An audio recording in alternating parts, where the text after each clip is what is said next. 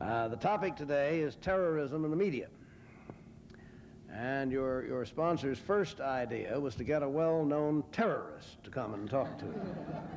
Unfortunately, they're all busy today, and uh, we therefore had to come to somebody from the media.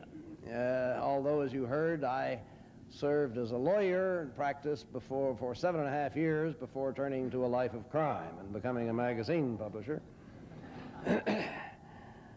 uh, despite which fact, perhaps because of the legal background, I have to confess that um, I, um, I have made something of a cottage industry out of being critical of the media. I, I think that there are some things they do that are not all that admirable. But on this particular topic, how they should handle terrorism, I confessed to being torn. And when Cliff asked me if I could speak on that subject, I said, Cliff, I'm not absolutely sure that I have a firm line on it. There seems to me it could be argued a couple of ways. And he said, well, maybe that's why you're just the one to make the speech then. So you may be hearing a little bit of other-handedness about this, although in the long run I'm going to have a, a specific recommendation. First, a couple of general observations. I think that terror, of course, in a sense, terrorism, if by that you mean individual acts of violence motivated by politics of some sort, has been around for a long, long time. All of human history, I guess. But it does seem to me that in recent years, more than usually in, in human history, terrorism has become an institutional fact of life, and we better make up our minds that it's here to stay. There are several reasons for this. Um, technological reasons are part of it. Uh, we can get around the world quicker these days in jet planes from here to there. Uh, we can communicate faster. The bad guys as well as the good guys have walkie-talkies and, uh, and can use radio communications to detonate bombs from a distance and things of that sort. Um, the bombs themselves are getting uh, more deadly and easier to hide.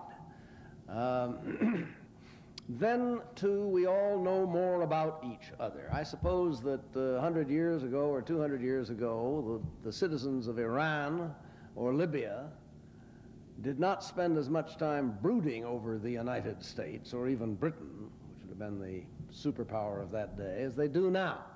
But now they see us on television and they know all about pornography and AIDS, and we're the great Satan. And their, their jealousy of the, of the impoverished, in most cases relatively impoverished lives that they lead, that they lead and of our strength uh, overpowers them and uh, combined with their differences of religion and so on makes us a natural target. And then you get that youthful idealism that is, can always, is always there and always good except when it is perverted as it can be. We get now young people in the Middle East without much prospects of their own who think, well, gosh, uh, I can certainly make one big splashy statement against the great Satan if I, if I lose my life in the process with uh, a bomb, a car bomb, or something of that sort. In that sense, uh, terrorism is what they used to call the pistol. It's an equalizer. One guy may be big and the other guy may be small, but if the small guy has the pistol, he has canceled out the difference in size and then some. And similarly, uh, a lot of small individuals can or think they can in some way uh, effectively retaliate for imagined wrongs against the United States by means of this equalizing process of terrorism. We could stay on just an analysis of the motives and mechanics of terrorism for the rest of my time, but I want to get next to the media what precisely is or should be the role of the media in respect to terrorism?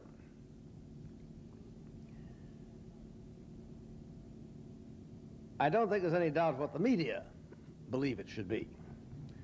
The media will tell you and will believe that their job is to report the news. That's what it is. And they have been commissioned, if not by God, at any rate by some other high authority, to go out and just get the facts, ma'am, and report them to us. What we do with them is our business, but they must not be uh, intruded upon in their high mission of getting and reporting the facts. They will admit, if you press them a little more closely, that uh, this gives them a kind of an appetite for flashy facts. Uh, good news usually isn't all that much worth a headline. A, a, a third quarter of economic progress, who cares? But one really good sharp downturn, or the drop in the market that one would assume would be coming after the long run up, will get all over the papers because we all like to read about that kind of splashy bad news. And um, uh, similarly, uh, uh, without meaning in this case any criticism at all, it is true that a thing like the Challenger tragedy, which occurred right there on live television with that brilliant white smoky explosion, is, is in a sense news of the first order. Nobody could minimize its importance or blame the press for covering it. And yet, let's just take two examples recently that, that show the trouble that you get into and some of the problems that this can create. A year ago, June, not less than a year ago, June of last year, TWA 847 was on the ground in Beirut. All the passengers have been taken off except one American who was killed right there on board and is being held by uh, terrorists and the terrorists start holding a press conference. There they are, with sacks over their heads, but nonetheless, there to tell you what they want and what they demand and what they object to. And we sit dutifully and listen as our media cover this uh, because we don't, or, or in the first instance, don't think we have really any choice in the matter. And then, by gosh, the, the prisoners themselves, the hostages, are marched on. And there they are in front of us. And uh, their spokesman is heard to say, well, you know, we begin to think that there may be something to the side that these people have. They have been treated unjustly. And you don't know what kind of pressures he's under or what kind of Stockholm syndrome is overtaking him that he begins to sympathize with his captors. But again, the whole darn show is in their hands, and all the television networks of the earth are covering it live in color in prime time. that was example one. Example two, a little less dramatic. The British Broadcasting Corporation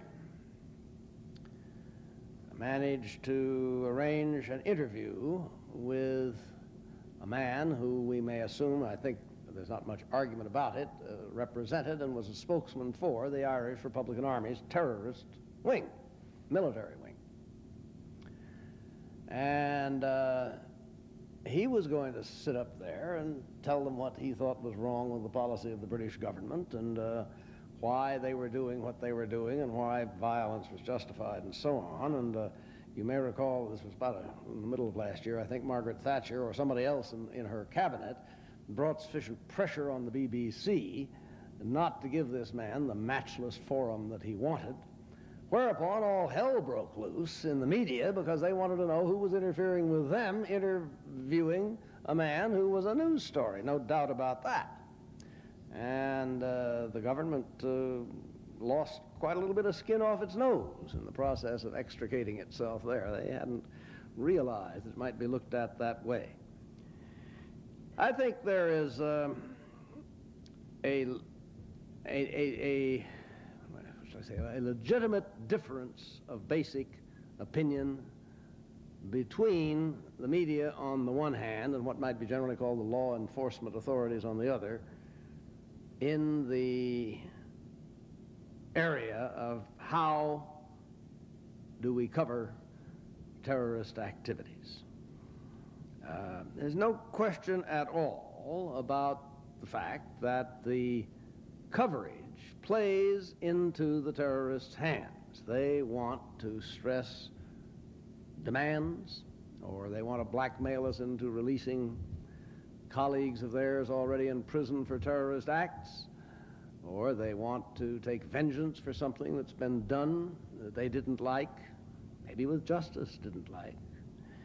And uh, so they have gone to the extent of inflicting harm or even death on innocent civilians who, whose only crime, if it was a crime, was like Robert Stethem in Beirut to have been a member of the United States Navy, or like the uh, four who died in the uh, TWA bombing outside of Athens uh, recently, uh, that they were just American citizens at a time when somebody in the Arab world didn't like American citizens because of our attacks on Libya or something of that sort. On the other side is this media desire, which mounts, in their opinion, to an obligation to cover news, and if it's bad, well, they cannot be blamed for that. Uh, so they would say.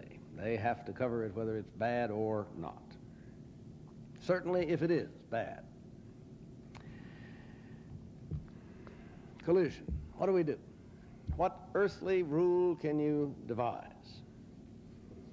I'm not sure I have a very satisfactory solution to the dilemma, but I have a, a sort of a, at least a partial proposal. And I want to approach it by means of analogy, because I think it is by means of analogy that we get to understand what is going on here. Let us imagine something somewhat different from a terrorist attack. And while this is a, in a sense, a diversion from the main thread of our discourse, you will see its connection, and it is, I think, intrinsically interesting and worthwhile to consider. I want to offer you a hypothesis. I don't think this is an implausible hypothesis at all. I think that it will happen, as a matter of fact. It's only a question of when. Let's suppose that somewhere up the road, a matter of months or a few years from now, the United States gets into a brush war of some sort, either in Central America or in the Middle East or maybe elsewhere. In any case, not World War III. I'm talking about a limited war for limited objectives against probably some smaller nation or series of nations in pursuance of American policy and, and justified objectives of ours, let's, let's imagine. Or at least so the government believes. Let us assume that another faction in our country bitterly opposes this, we, just as we did in the case of Vietnam. You had some people on one side, some on the other, just as you would if uh, we, we were to send troops to Nicaragua, some on one side, some on the other, and so on. You might get the same effect or might not in the Middle East. In any case, let us assume, just for the sake of my hypothesis, that what would generally be called liberal opinion is bitterly opposed to this military action. And that the media, which are certainly dominated by uh, liberal opinion now, are still, at the time I'm talking about in the future, in my hypothesis, still dominant in the media. The TV crews come ashore, wherever it is, with the American forces and start to film the war. Now, here we enter into ground that is, if not entirely new, somewhat new. It, it, didn't used to be, as late as World War II or even Korea, as easy, or even Vietnam, quite as easy, uh, to photograph a war as it has gotten to be since. But it is now possible to, with the technological equipment that TV has got, uh, to get right into it, to photograph the very ugly aspects that war has in a way that they didn't before. There will be American blunders. You remember we're supposed to have uh, bombed a mental hospital in Grenada. I don't know whether we did, but that was the allegation. Okay, photograph of the mental hospital. Television interviews with the surviving patients and nurses about this American blunder. And uh, there are going to be American dead and wounded. Live color shots of the wounded being brought into the forward hospital. Live shots, it may be, of the dead. switch to uh, Rochester, New York, where the mother of one of those boys has been found. And she sits there twisting her handkerchief and breaks down and cries right there on television. You've seen it already. You will see a lot more of it if this type of situation develops. Switch to Toronto, where the Canadian Broadcasting System has obtained an interview with the foreign minister of the enemy country. And he's a very reasonable man, or that's the way he sounds. He explains why he opposes us. He appeals to the American people not to go along with this madness against his innocent country. Well, you can see where I'm, I'm leading here. We will face, I don't say would in some hypothetical case, we will face in your time and my time, I suspect, unless we're very lucky, an all out, groin and eyeball effort by the American media to bring an American military venture to a dead halt because they don't like it. Now, we are some distance from simply covering the news, are we not, at this stage of the game? You know as well as I do that the news you cover is the news you select to cover.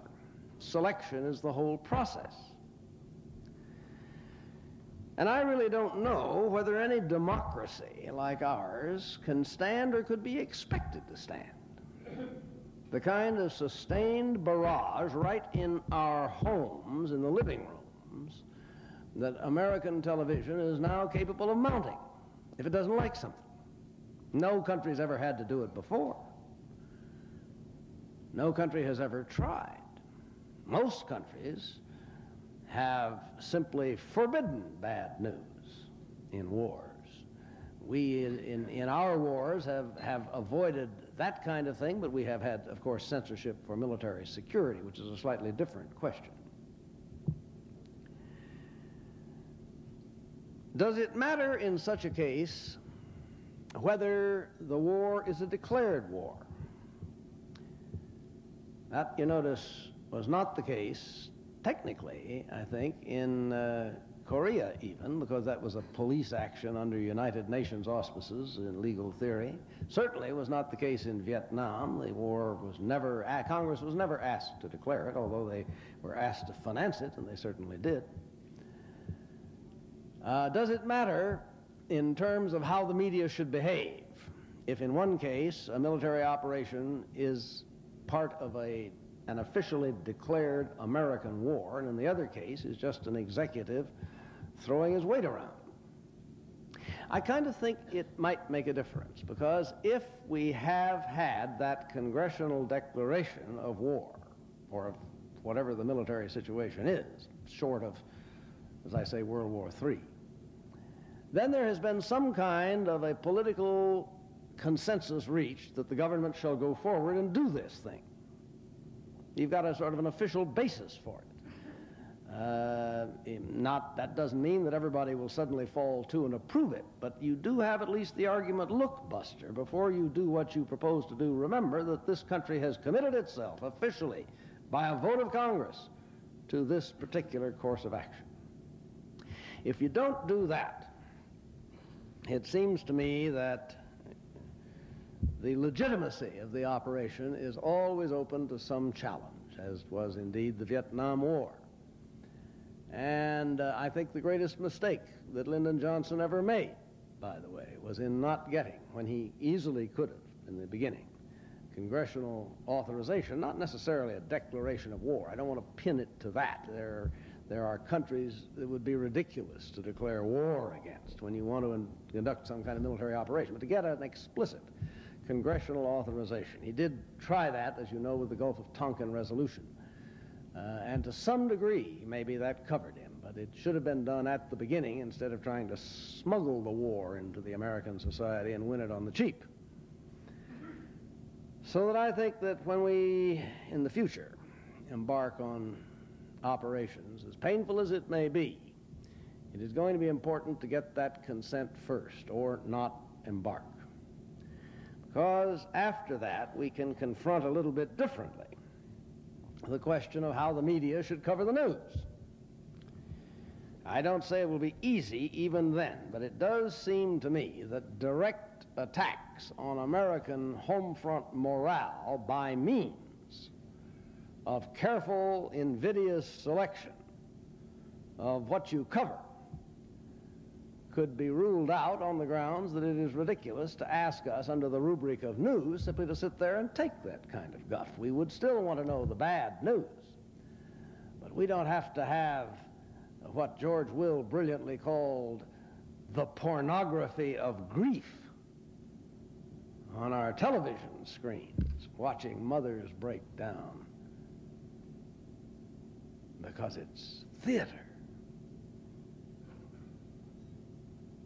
Now, this brings us back, I think, to the only suggestion that I have been able to generate in regard to terrorism.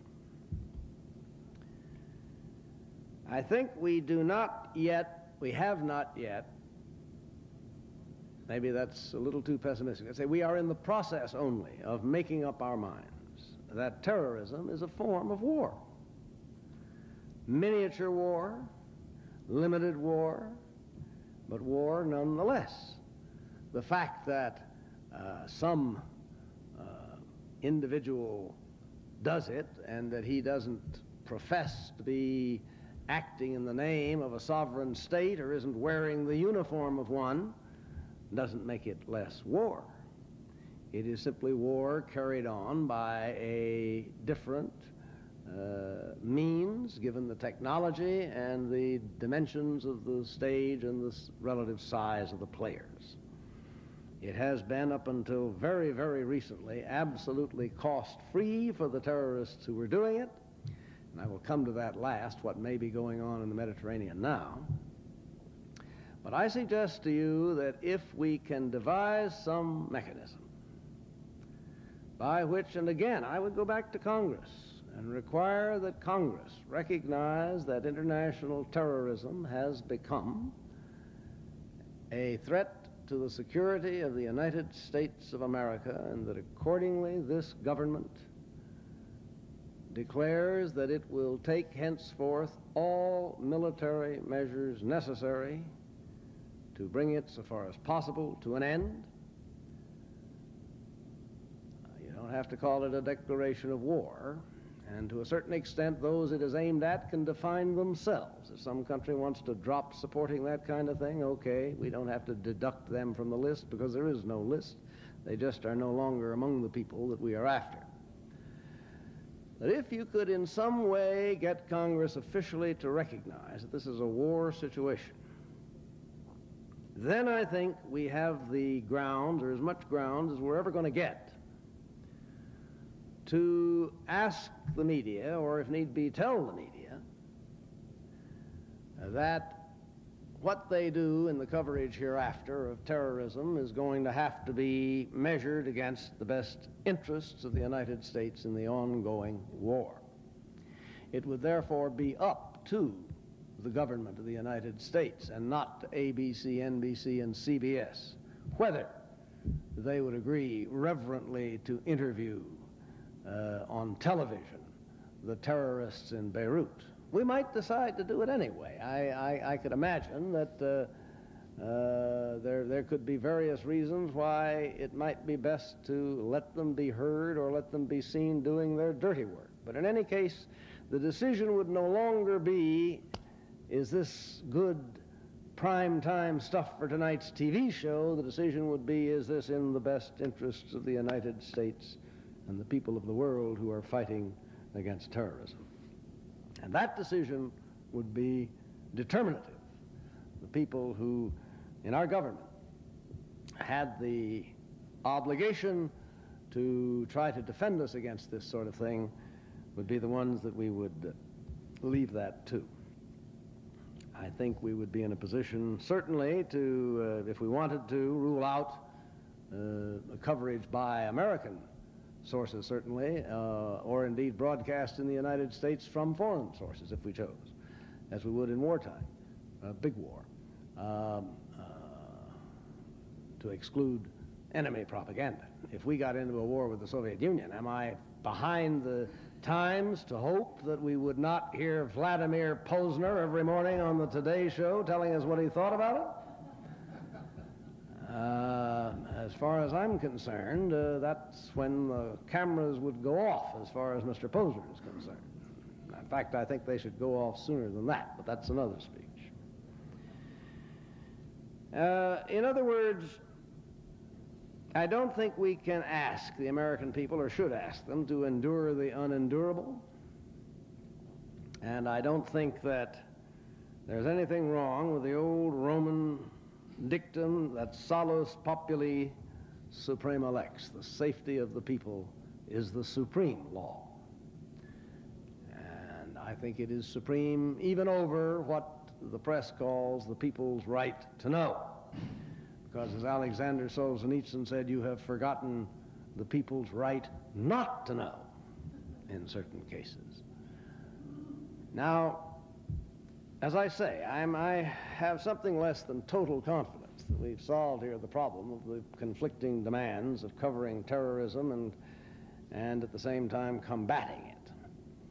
But I think that out there somewhere in the definition of this as an act of war, and the understanding that that is exactly what it is and that is the way it must be responded to, out there is the best solution we can find to uh, the question of to what extent it ought to be covered as news. With regard to what is going on now, I'll devote a few minutes, maybe eight or nine to this, and then I invite your comments and your criticisms and your questions. And two, with regard to what is going on now, of course, nobody has taken me aside and whispered the simple truth in my ear. I watch as you do what is going on. To some extent, I have my sources in the administration, and they make this or that comment to me. But this is mostly analysis, not, not secret inside stuff. It seems to me that President Reagan has thought very carefully about this business of terrorism, and he hasn't been in any big hurry that, to rush forward and make a mistake. He was, as you know, has been criticized rather extensively for letting certain things go unpunished. Uh, I'm not so sure he has let them go unpunished. Um,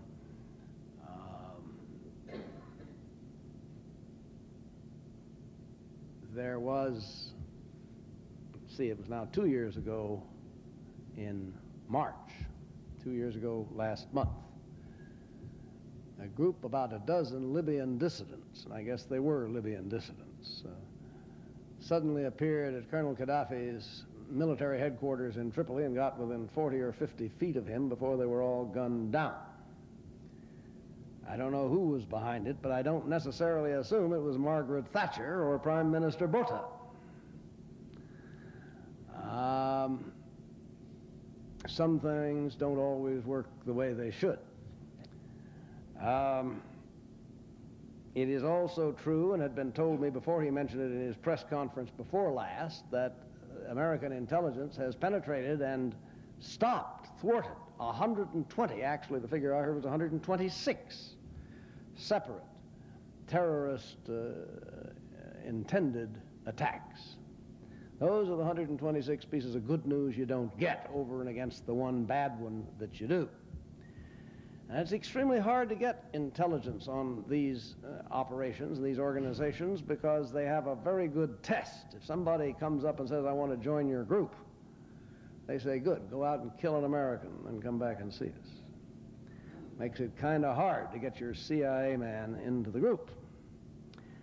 Nonetheless, they have managed to get a good deal of information and stop at least 120 of these attacks. Uh, but he hasn't stopped them all, and uh, stopping all of them may be totally impossible. I think Mr. Reagan knows now exactly how he intends to proceed and is proceeding. He has found a way to keep it from being cost free. Now, when there is a terrorist outrage, In the first instance, he called it a naval exercise, and it was definable as that. But when the Libyans objected, they lost two of their ships and a couple of their uh, ground-to-air missile sites. In a rather surgical uh, strike, or series of strikes, which was, you will notice, highly proportionate. He could just as easily have bombed Tripoli and killed hundreds of thousands of people. He didn't. Went right after certain military objectives and was lucky enough not to lose a single American life in the process. That may not always be the case. He then withdrew his carriers, and Colonel Gaddafi wasn't having any of this nonsense, so the next thing you know, he got the bomb on TWA 840, and then what happened in West Berlin, and uh, uh, the most important thing is the latter, because apparently the intelligence, this has been allowed, I think, to seep out, uh, intelligence was able to actually obtain and decode the messages from Tripoli to East Berlin ordering that attack. So we have a pretty clear line to Colonel Gaddafi.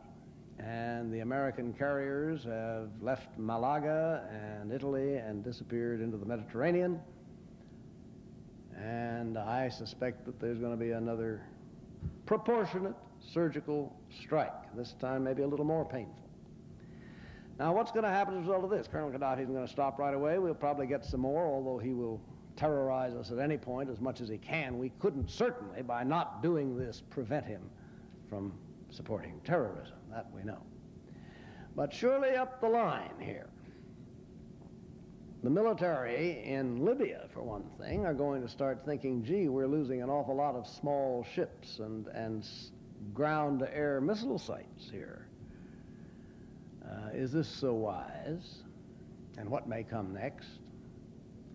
And the people of Libya itself may start thinking, you know, that last one was an attack on a military dump on the edge of town, but the next one could be right smack in the town. Do we need this? And the rest of the Arab world is going to start seeing, it doesn't take a genius or a pro-American to see that Gaddafi is getting to be an awfully costly bauble for the Arab world to put up with. I have a feeling if we will just persist the proportionate response to the terrorist outrages as they occur, linking them, when you can, to Libya, that up the line somewhere, things are going to get awful hot for Gaddafi, and that he may be forced out or killed by his own people or other Arabs.